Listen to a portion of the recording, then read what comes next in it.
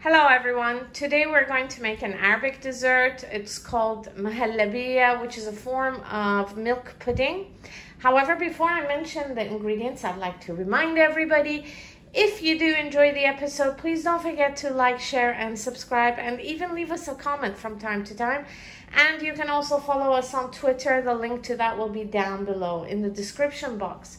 So I'm going to start off on this side. You're going to need about three tablespoons of corn flour, one liter of milk, which is equal to four cups of milk, one and a quarter cups of sugar, some rose water,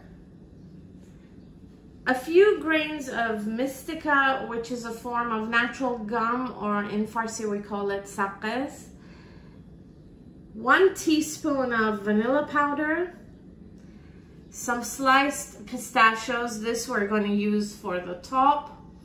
And about half a cup of coconut powder. Again, this is for garnishing for the topping. So these are the ingredients we'll be using. Let's begin. Using a mortar and a pestle, uh, put the few grains of mistika into it and then add some sugar. And then we're going to start the process of grounding it. Once you're done, it should look like this. Pour the milk into a pot. This is cold. We still haven't turned on the stove. And then add three tablespoons of corn flour to it. Then mix it all. We still haven't turned on the stove. This is all cold. Stir it until the corn flour dissolves into the milk and then turn on the heat. We're going to start off with maximum and we're going to let it warm up a bit. After about 40 seconds, then lower it to five or medium heat. You have to continuously keep stirring because otherwise it will clump up.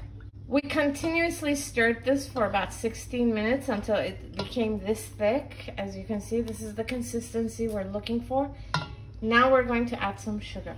So we're gonna add the sugar now, but we're not gonna add all of it. We're gonna taste it and see how much sugar it needs. You don't want it to be too sweet.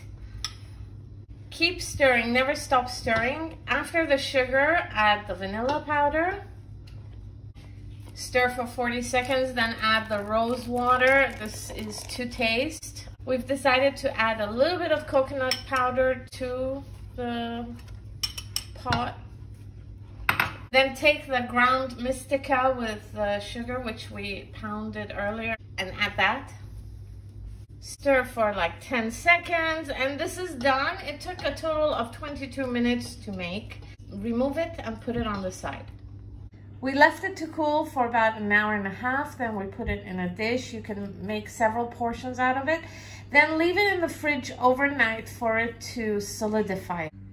So this was in the fridge overnight. Uh, we took it out, we garnished it with some pistachios and some dried apricots.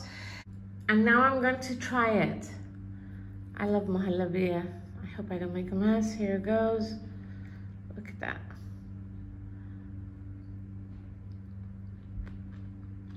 Mmm. Mmm, so good. It's delicious, I swear to God. Anyway, I hope you enjoyed the episode. If you did, please don't forget to like, share, and subscribe. See you next time. Bye-bye.